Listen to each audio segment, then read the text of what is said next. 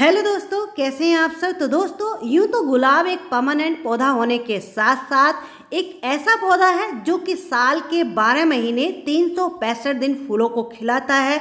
लेकिन सीज़न यानी कि ऋतु के हिसाब से इस पौधे की जो देखभाल है केयर है, वो हर एक सीज़न की अलग अलग तरीके से की जाती है। तभी हमारे पौधे की ग्रोथ भी अच्छी होगी और पौधे में फूल भी आएँगे।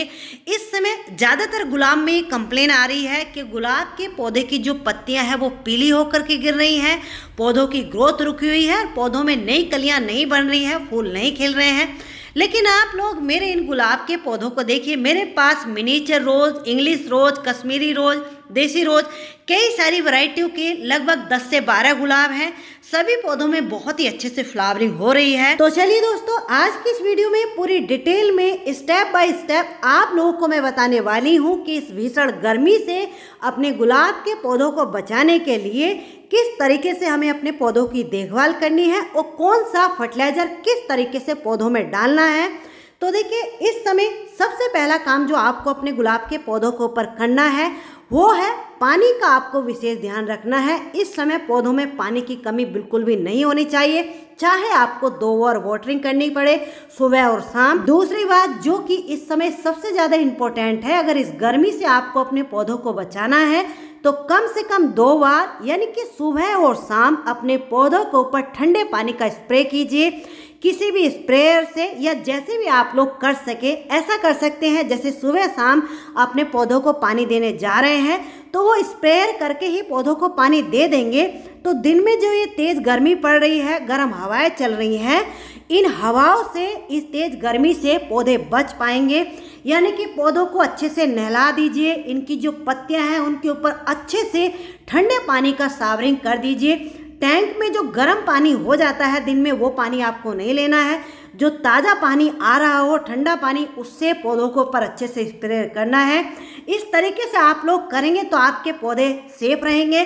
आप लोग मेरे पौधों को देखिए, जहाँ पर ये मेरे पौधे रखे हुए हैं कम से कम यहाँ पर छः घंटे की डायरेक्ट धूप इन पौधों को पड़ती है और फिर भी आप लोग देख लीजिए, मेरे जो पौधे हैं, कितने लस ग्रीन हैं। एक भी पत्ती आपको पीली नज़र नहीं आएगी। तो इसका यही रीज़न है कि मैं सुबह और शाम अपने पौधों को अच्छे से, जब मुझे लगता है कि पौधों में पानी की भी कमी नहीं है फिर भी पौधों को अच्छे से हल्का हल्का सावरिंग कर देती हूँ ठंडे पानी की, जिससे कि पौधों को राहत मिलती है, यानी कि पौधों को फ्रेशनेस सी ताजगी आ जाती है। तो पौधे थोड़े खिलखिला उठते हैं।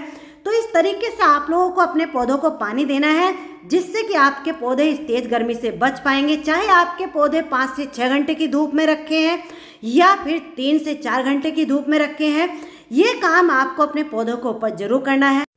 इसके बाद अब बात करते हैं नेक्स्ट स्टेप की, यानी कि इस समय हमें अपने पौधों को कौन सा फर्टिलाइज़र और किस तरीके से देना है? तो देखिए, ये जो आप लोग सामने देख रहे हैं, ये है सीविड ये लिक्विड फॉर्म में भी आता है और ड्राई फॉर्म में, यानी कि दानेदार फॉर्म में भी आता है। तो जो ड्राई फॉर्म में होता है, वो थोड़ा देरी से वर्क करता है धीरे धीरे मिट्टी में जा कर के घुलता है, तब वर्क करता है। लेकिन ये जो लिक्विड वाला होता है, ये पौधों में जा करके पौधों को इंस्टेंट वर्क करता है, यानी कि पौधों में इंस्टेंट रिज़ल्ट आपको देखने को मिल जाएगा।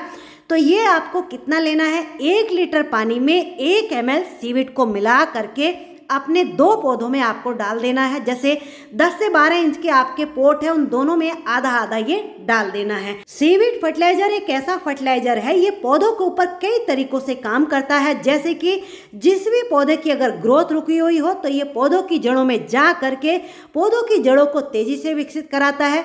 या फिर कई बार ऐसा होता है कि पौधों में कलियाँ बन जाती हैं, लेकिन कलियाँ पीली होकर के गिरने लगती हैं, झड़ने लगती हैं।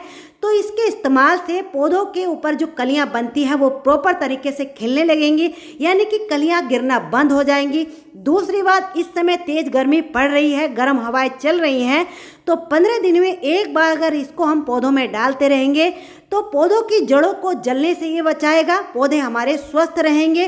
इसको इस्तेमाल करने के भी कई तरीके हैं। आप लोग डायरेक्ट पौधों की मिट्टी में पानी में मिला करके भी डाल सकते हैं या फिर दो लीटर पानी में दो एम एल सीविड को मिला करके पौधों के ऊपर इस तरीके से अच्छे से पंद्रह दिन में एक बार स्प्रे अगर कर देंगे। अब बात करते हैं नेक्स्ट स्टेप की। तो देखिए, गुलाब एक ऐसा पौधा होता है जिसको कि समय समय पर हैवी फर्टिलाइज़र यानी कि ऑर्गेनिक के साथ इनऑर्गेनिक यानी कि केमिकल फर्टिलाइज़र भी पौधे में हमें डालना पड़ता है। पौधे की अच्छी ग्रोथ के लिए लेकिन इस समय बहुत ज़्यादा गर्मी पड़ने की वजह से कोई भी केमिकल फर्टिलाइज़र हम अपने गुलाब के पौधे में नहीं डालेंगे। तो इस समय जितना ज़्यादा से ज़्यादा हो सके अपने पौधे को ठंडी खादी दीजिए। तो उसके लिए हमें क्या करना है? देखिए, यहाँ पर हमने दो केले के छिलकों को लिया है और एक संतरे के छिलकों को यहाँ पर लिया है। इसकी जगह नींबू के छिलके अगर आप लोग ले रहे हैं तो एक नींबू के छिलकों को, यानी कि दो टुकड़ों को ले लीजिए। और दोनों चीज़ों को एक लीटर पानी में हमने डाल लिया है। इसके बाद देखिए ये है चाय की पत्ती। यहाँ पर ये फ्रेश चाय की पत्ती हम ले रहे हैं तो छोटी चम्मच जो होती है, उससे एक चम्मच चाय की पत्ती को भी हम मिला लेंगे। अगर इसकी जगह धुली हुई चाय की पत्ती आप लोग लेते हैं तो वो एक मुट्ठी, दो मुट्ठी आप लोग ले सकते हैं। तो इन तीनों चीज़ों को मिला करके हम एक रात के लिए ढक करके छाया वाली जगह में रख देंगे। केले के छिलकों में पोटेशियम के साथ साथ और भी बहुत सारे ऐसे पोषक तत्व पाए जाते हैं, जो कि पौधों की अच्छी ग्रोथ के लिए, पौधों में ज़्यादा फ्लावरिंग लेने के लिए, या फिर इस समय जैसे भीषण गर्मी पड़ रही है तो इस गर्मी से पौधों को राहत दिलाने के लिए काफ़ी हेल्प करता है। दूसरी चीज़ जो संतरे के छिलकों को हमने लिया है, इससे मिट्टी एसिडिक होती है क्योंकि गुलाब के पौधों को एसिडिक सोयल पसंद होती है। तीसरी चीज़ जो चाय की पत्ती को हमने यहाँ पर लिया है, इसमें नाइट्रोजन बहुत अच्छी मात्रा में मिल जाता है, जो कि पौधे की ग्रोथ करने में बहुत हेल्प करता है और भी बहुत सारे ऐसे माइक्रो तत्व इसमें मिल जाते हैं। साथ ही में ये पौधों की मिट्टी को बहुत ज़्यादा उपजाऊ बनाती है और संतरे के छिलके और चाय की पत्ती इन दोनों चीज़ों को हमने ले लिया है तो इनसे मिट्टी का जो पीएच लेवल रहता है, उसको ये बैलेंस करके रखेंगे। तो देखिए, इनको देना किस तरीके से है? हमने इनको छान लिया है। ये लगभग आधा लीटर फर्टिलाइज़र हुआ है। इसको हम दो लीटर पानी में मिलाएँगे। अगर केले के छिलकों का ही हम फर्टिलाइज़र बना करके देते तो उसको हम डायरेक्ट दे सकते थे, क्योंकि बिल्कुल ऑर्गेनिक है।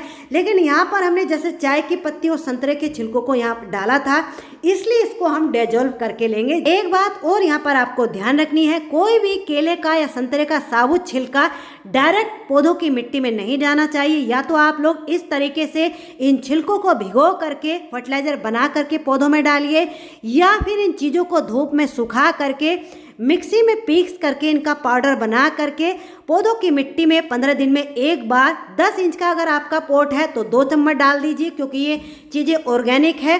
बारह इंच का पोट है तो उसमें लगभग एक मुट्ठी या दो से तीन चम्मच डाल दीजिए। तो देखिए, इसको देने से पहले पौधों की इस तरीके से हल्की हल्की सी हमें गुड़ाई कर लेनी है।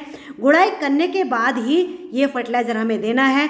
एक बात और आपको ध्यान रखनी है, जब भी कोई भी फर्टिलाइज़र पौधों में हम डालते हैं तो हमेशा पौधों की जो मिट्टी है, उसमें हल्की सी नमी होनी चाहिए। देखिए, इस तरीके से बहुत ज़्यादा सूखी हुई मिट्टी नहीं होनी चाहिए। तो देखिए कितना कितना हमको डालना है। इस तरीके से भर भर के लगभग एक एक लीटर, यानी कि जितना आपके पौधों में आए, उतना आप लोग इसको डाल दीजिए। क्योंकि बिल्कुल ऑर्गेनिक है तो थोड़ा सा कम ज़्यादा भी अगर हो गया तो घबराने की कोई बात नहीं है। तो देखिए, ये मेरे दस दस इंच के पोट हैं, इनमें लगभग एक एक लीटर फर्टिलाइज़र को आया है। इनको आपको देना कितने दिन बाद है? देखिए, इस समय बारह दिन बाद या पंद्रह दिन बाद एक बार अपने पौधों में इनको डालते रहिए। आप लोग मेरे पौधों को देखिए, कितने लस ग्रीन, कितने हेल्दी कितने स्वस्थ बने हुए हैं। इस समय कोई भी ऐसी खाद मैं अपने पौधों में नहीं डाल रही हूँ, जिससे कि मेरे पौधों की पत्तियाँ जले या पौधों में किसी भी तरह की कोई प्रॉब्लम आए। आप लोग भी इस तरीके से अपने पौधों की देखभाल कीजिए तो आपके भी पौधे हेल्दी बने रहेंगे, स्वस्थ बने रहेंगे। तो चलिए दोस्तों, आज की ये जानकारी आपको कैसी लगी? अच्छी लगी तो प्लीज़ वीडियो को लाइक ज़रूर कर दीजिए। चैनल पर पहली बार आए तो चैनल को सब्सक्राइब कर लीजिए। मिलते हैं किसी नेक्स्ट वीडियो में। नेक्स्ट टॉपिक के साथ, तब तक के लिए बाय हैप्पी